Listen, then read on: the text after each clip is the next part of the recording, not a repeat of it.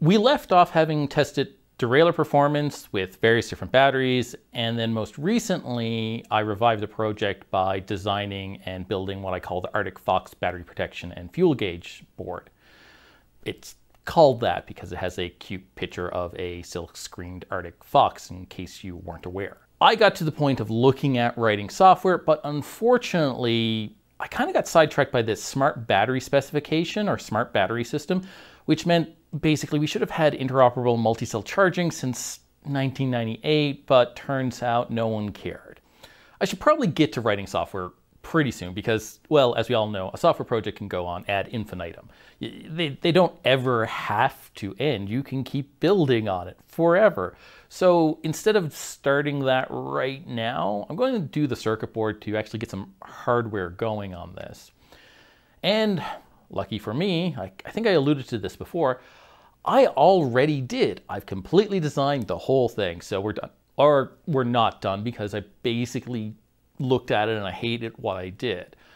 So what we probably should do is learn from all those mistakes. So I'm going to go back with wild abandon and no regard for my own previous self feelings and basically mock everything I ever did.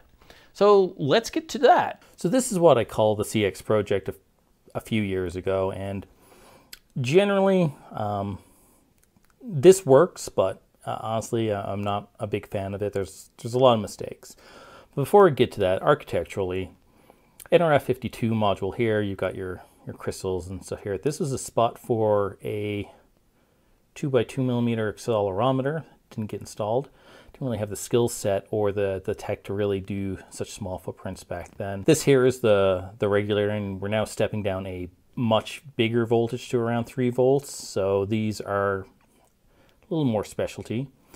Big electrolytic cap, motor driver with its current sense resistor, and a FET that obviously looks like it's installed incorrectly because it was designed incorrectly. This is connector. That connector matches up with one out of an actual power unit. Um, and I happen to have a actual uh, EPS motor spare, sort of spare. Remove this from my damaged derailleur because I had a chain failure that caused me to well, destroy a lot of my bike. So there's nothing really wrong with this design per se, but uh, there are aspects I don't really like it, like namely uh, this accelerometer, part of the board manufacturing, but placement's not great.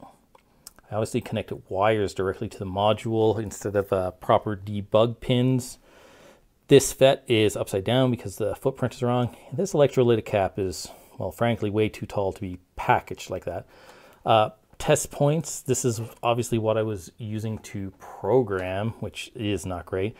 And um, it's hard to tell, but you can sort of see the power trace, honestly, is a, is a bit small.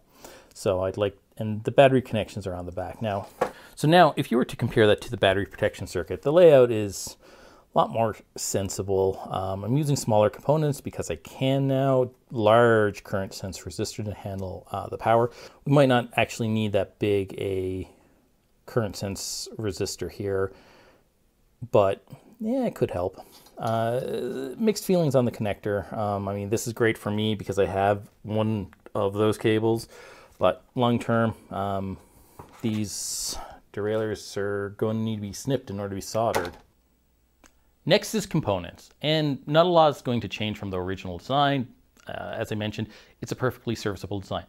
Maybe some of the specifics will. First up is the microcontroller, and I mean, that's pretty simple. Uh, I need, I'm going to need at least Bluetooth or some sort of RF, so a system on a chip. Uh, I probably want ANT plus shifting compatibility so that I know what gear I'm in for most cycle computers and don't have to do proprietary stupidness because there is no Bluetooth one and everyone else went proprietary. So it's going to be a Nordic chip. And I'm used to the Nordic 52 series um, and most commonly 52832. And we're just going to use a module with built-in antenna and pre-certification. I've got lots of these already uh, for various different projects over the years. I have really, really small ones, uh, but I don't really want to use those because they were really hard to get during the last couple of years and they're started coming back in stock, but a lot of people are grabbing reels and reels and reels of these uh, very quickly. So who knows if they're out of stock again and it'll be another two years before we can get them, and I and I just have a design that either has to get redesigned or wait. So next up is accelerometers. We are only using it for wake up, so it really doesn't matter. We don't have to have really great specifications. But interestingly, everyone kind of has cloned the uh, ST Micros um, LIS series, LIS2 series, I believe, and they're almost footprint and code compatible now at this point. Just a few little changes here and there, unless you're doing something exotic, especially with FIFOs or buffers and stuff. But basically, we're just using it to generate, oh, some motion happened, wake up the derailleur system and check to see if there's a, a connection. Pretty simple stuff. Probably not going to talk um, a lot about the Hall effect FET. It's just a FET. I got the footprint wrong before and uh, had pins flipped, so beginner rookie mistake. Um, yeah, just just don't do that. I'll find something. I, I have a few uh, much smaller ones, the high efficiency stuff, but uh, it's not that important. We just need to be able to switch on and off so that they don't pull like 10 or 15 milliamps of current constantly um, because we only need them on for a few milliseconds, uh, maybe 50 or 100 times a second. Surprisingly, the regulator is one of the more uh, annoying things, I will say. So during the last few years, parts went out of stock. New parts were created to have lower costs and easier to build and reduced pin counts for easier to build.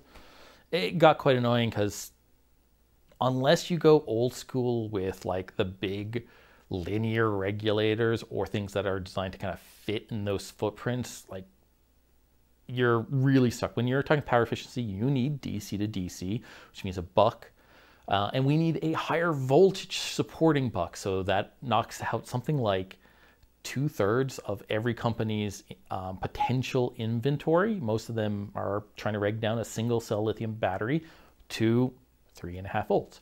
Or you're making a laptop and you need to reg down, you know, 12 volts all the way down to like 0.9 or 1.2, but with a lot of current behind it. So uh, you have less options, but there are some decent options out there. And hopefully things are a bit better now. It looks like there is a part that I like and is uh, decent stock availability. So that's pretty good.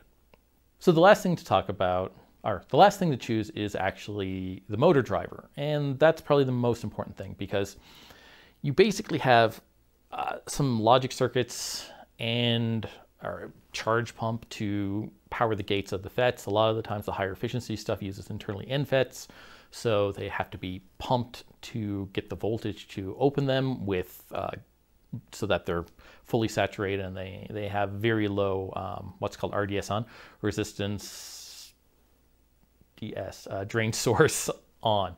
So I kind of went down a rabbit hole on this and started to going to higher and higher and higher current things and then the higher current ones are physically bigger, so you try and look for smaller ones, but they have configuration pins and stuff.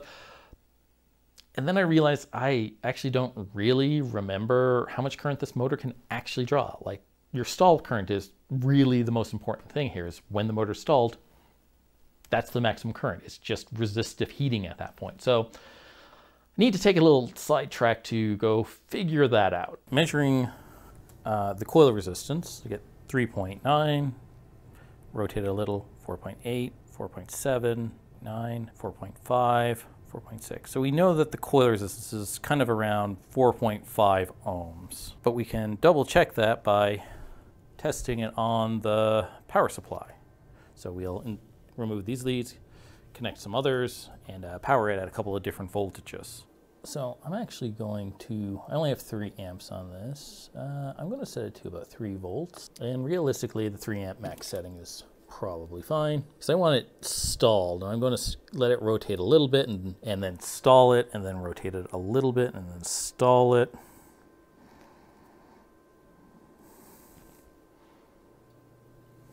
So and you can see uh, that the motor's running.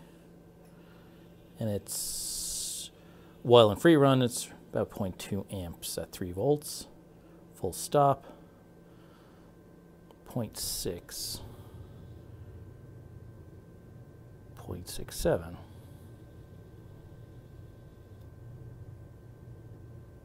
0.65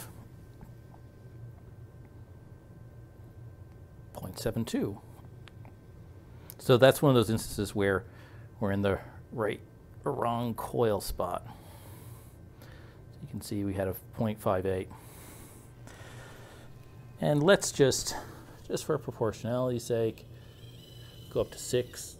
And when I stop it, 1.4, 1.3, 1.2, 1.2, 1.2, 1.2, 3. So this is actually kind of hard on the motor, and I can, I can actually feel it getting warm now.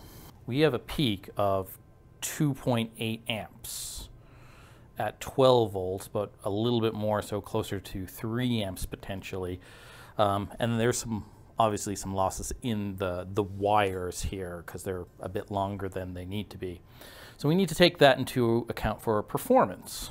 So now that we figured that out, uh, basically all I've chosen is successor to the one that I had previously used, but it ditches that resistor now. It may be a shunt resistor internal to it, or it might just be some current mirroring or something like that to uh, through an op amp. But either way, it simplifies the, the design even further, basically. So that's that's kind of good. So with that, I guess I should be designing the circuit board. Well, no need to figure out where the circuit board goes, and that's going to constrain things. Uh, a lot of people think this idea of you know the sticky notes on a board, like used in software development, which has several different names. It doesn't necessarily work for hardware. In fact, what you actually kind of find is that old school waterfall method of, of task A begets task B begets task C um, and that you can't do task C unless A and B is complete. Like following that waterfall down in a, a standard uh, Gantt sheet planning chart, like that's how most hardware has to go. The difference is we kind of want to have the, all this flexibility of, of just do this and then do this and do this. No, you do actually have to follow a bit of process. And the process here is we need to figure out our enclosure to figure out where our PCB is going. Or you can do it the wrong way, uh, in, at least in my opinion. And lots of companies do this of design the circuit board and then try and put fit an enclosure around it. I like my way better because it usually means there's less loops in order to get it right because what you're going to find is, you know, on that Gantt chart of A through Z, somewhere around K, you'll figure out, you know, if we would uh, just go back and change B or C to these things that we now know about, boy, that would make our lives sure easy. that's kind of where I, am going is that I want to constrain what I have in terms of space to work with and then design my circuit board to fit that approximately. And then you go back and you refine things back and forth a little. It works out pretty well. Um, one of the things one of the things you'll actually see in the next video is that as my skills improved now on how small I believe I can make things, it gives a lot more flexibility to being able to not feel as constrained by those housing problems, but they're still there and we'll get to that eventually. Uh, it was going to be too long to try and merge these into one. I don't really want to make a 25 to 30 minute video anymore. So that'll have to wait till next time. Um, maybe I'll post that one a little earlier than I expect, but we'll see. Also got some other um, weird and wonderful things uh, planned and in progress, but a lot of it requires me to write a whole bunch of things like code and Python scripts in order to make it work. And those are only part way there and then I have to shoot them. So um, hopefully some more cool stuff coming. Hopefully I can keep this up. Uh, I'm but other than that, um, thanks for following along in this design journey. No, it's not everyone's cup of tea, uh, but I think it's interesting to allow people to peek behind the curtains. And with that, hopefully you learned something and take care.